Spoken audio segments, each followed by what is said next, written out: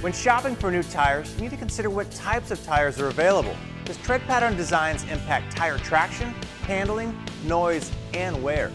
Now symmetrical tires are the most common, and they have the same tread pattern on the outside as the inside of the tire. So these tires don't have an inside or an outside, and therefore can be mounted either way, and they can be rotated to all four corners of the vehicle.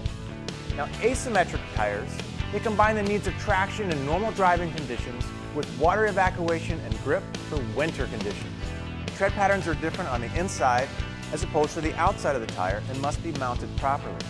However, they can still be rotated to all four corners of the vehicle. Now, directional tires, they have a tread pattern designed to roll in only one direction.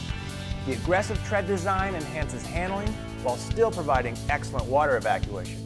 However, once mounted, they must remain on the same side of the vehicle and only rotated front to rear. Now visit tires-easy.com to find all of these tread designs with the best pricing and selection online.